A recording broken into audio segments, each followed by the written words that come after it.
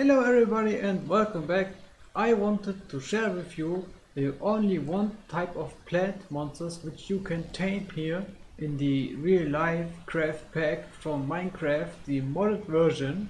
You will need to find one of these guys, they are called Shambler and you will need many treats.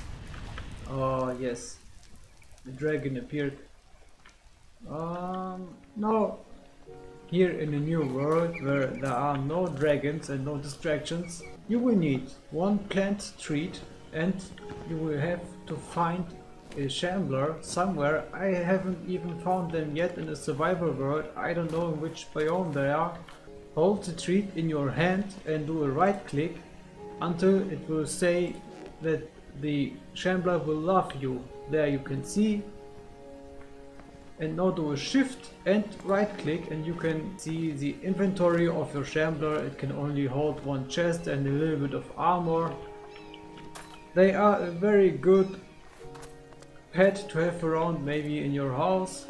They will protect you from other enemies attacking you such as zombies and skeletons or even creepers. Therefore i wish you all a nice and happy day i would like to share more information about other monsters you can tame here in the mod pack Real Life Craft for Minecraft.